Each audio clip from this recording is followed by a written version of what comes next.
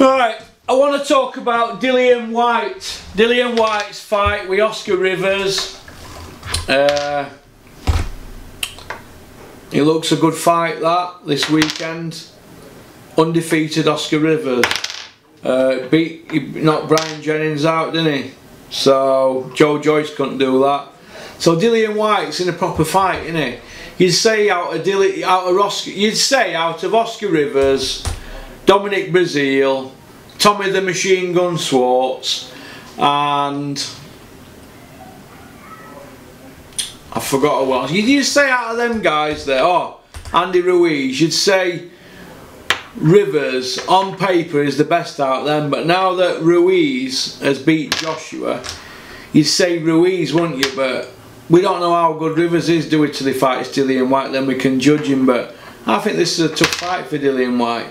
If Dillian Whyte beats it, beats Rivas, has he got a claim to saying he's the best? Well, he's in the mix, isn't he? He's pay-per-view, he's, he's highly ranked, he's number one in two or three bodies. Well, there's two of them sanctioning bodies. He's very highly ranked, and he's as game as a pebble. And he's got a dangerous left hook. Now, is Tyson Fury going to fight Dillian Whyte bare knuckle in the street or in the ring? Because Dillian Whyte's put the challenge out to Tyson Fury. Let's get at it in the ring or on the street. Now, Tyson's gone quiet. I mean, we've got a fighting man here, a gypsy fighting man, but yet you're not fighting anybody. So how can he be a fighting man? I don't... King at Gypsies, he's not got a belt. I don't get it. Dillian Whyte is the real deal, so I want to see Dillian Whyte against Tyson Fury. Yes, please. Do I want to see it in the street? No, I don't like to see things like that, but I dare say if they fought, there'd be loads of security there to hype it up but at the end of the day, Dillian Whyte's there on merit, isn't he? Now, will he regret not fighting Anthony Joshua at Wembley? Yes, I think he will. I think he'll regret that. But Dillian's had some fist off Joshua before, hasn't he? So that'll be fresh in his mind. A bit like Joshua in his mind at the moment with uh, Andy Ruiz, but we'll come to that in the next video. But Dillian Whyte, I want to see him fight Tyson Fury. Yes, please. I want to see him fight Tyson. I think it's a good fight. Uh, I think it's a great fight.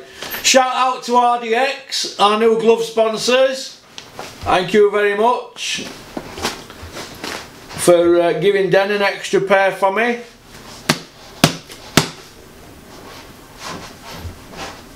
Alright then. They don't feel as good as these ones Steffi Bull gave me for my birthday. I've had these about three years. Steffi gave me these three years ago. I think these are 10 ounces, I think they're 12 are they? These feel lighter. Have a look. But uh,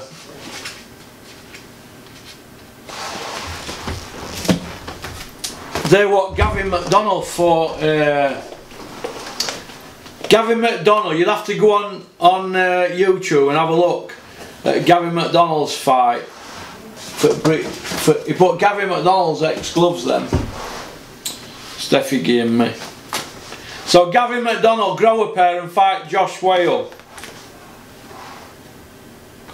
10 ounces, I thought they were heavy. 2 ounce makes a difference, doesn't it?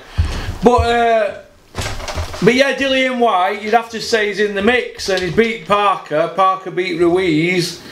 And I think Dillian Whyte against Hughie would be a good fight, but whether Mick and Peter can get Hughie in the mix, I don't know.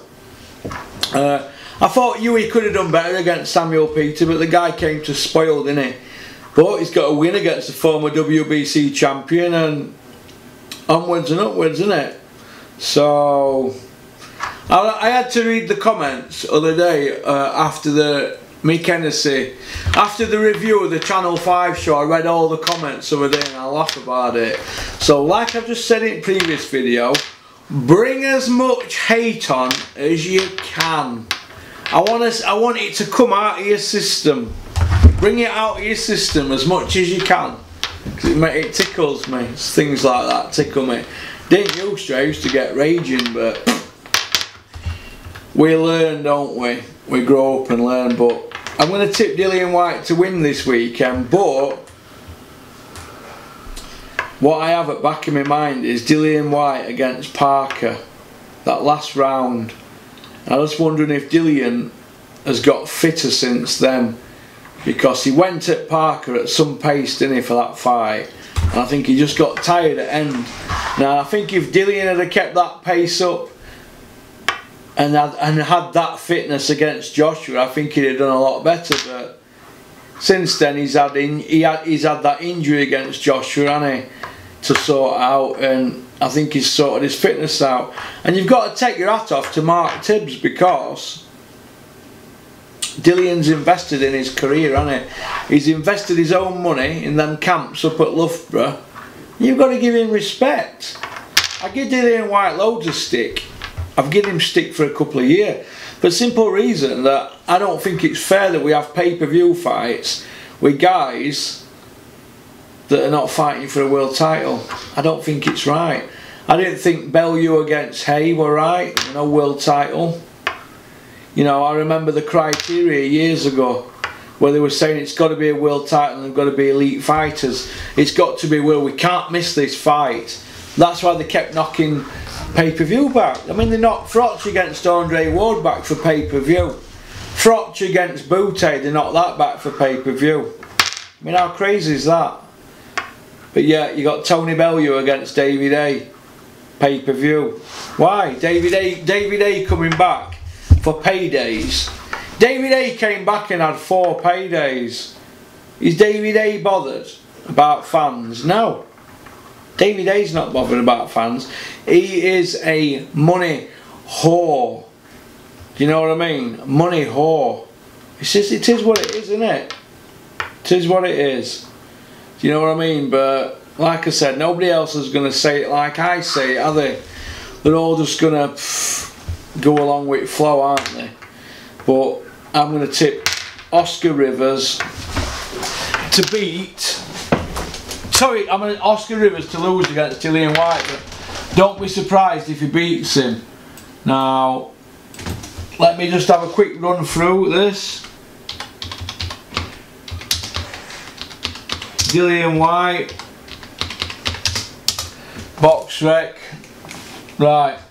Dillian Whyte.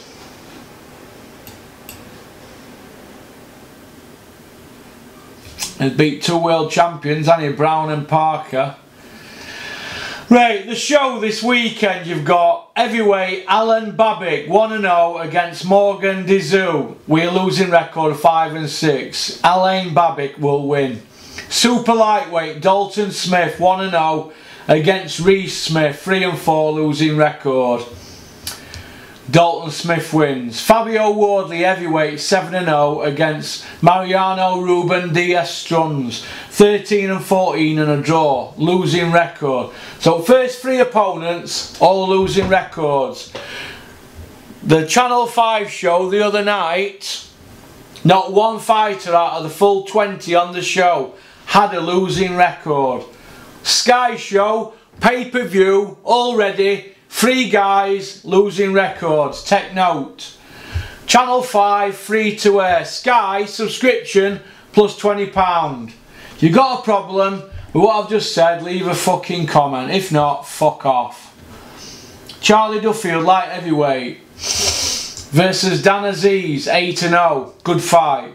Richard Riakporhe, Nat Riakporhe, 9-0. Chris Billam-Smith, 9-0. Cruiserweight, great fight. Lawrence Okolie, 12-0 cruiser against Mariano Angel Gudino, 13-2. Shite fight. Chisora 30 and 9. 9 defeats Chisora against Artur Szpilka 22 and 3. Good fight. Szpilka beats him on points. Because I think Chisora's spent. So Szpilka to beat Chisora. Dave Allen 17 and 4 and 2 against Price 24 and 6. Dave Allen by knockout, round 6. Dillian Whyte 25 and 1, Oscar Rivas 26 and 0. Dillian Whyte to win, great fight. Overall show looks a fantastic show. If it were non-pay-per-view, we'd be raving about it. But it's pay-per-view and I have a problem with pay-per-views that have no title fight on the line. The Whyte and Dave Allen and Chisora, none of them are even for a belt.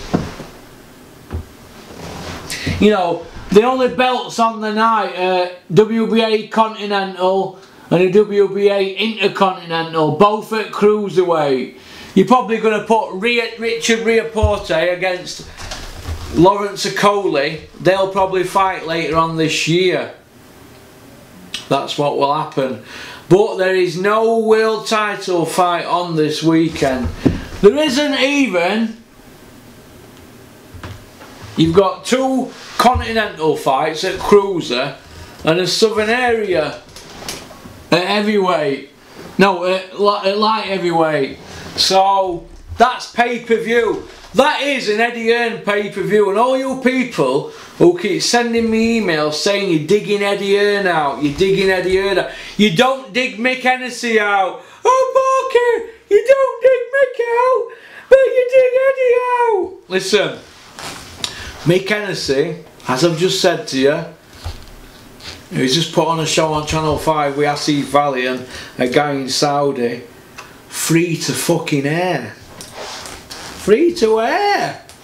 What you got here? Subscription and pay-per-view. Not even a fucking world title fight. Eddie Hearn's words were, every Sky show from now on is going to have a world title fight, even if it's non-pay-per-view. That were Eddie Hearn's words a few years ago. Since then, not kept his word. I'm only going on what Eddie said. That's why I fucking dig him out. That there is utter... Well, it is, isn't it? Chisora against Szpilka is recycled crap. What is Dave Allen against Price? Dave Allen does numbers and he's funny on Twitter. And David Price, we keep hearing about if David Price is going to hit you. If David Price hits you, you're going to go to sleep. Who has David Price ever fucking hit and gone to sleep? Well, let's have a look. Let's investigate. David Price. I know my style might not be to everybody else. Right. When was the last time David Price ever hit anybody who was any fucking good and he knocked him out? When? When? When? I'm fucking looking here. When? Right, well I'm going to tell you, shall I? I'm going to tell you the last time David Price knocked anybody out who were any good, right? It was 2012, 30th of November, Matt fucking Skelton. He'd had 60 feet and he were 40, and he was 45 year old, nearly 46. So David Price knocked out, David Price knocked out. Matt Skelton a guy pushing 46 year old.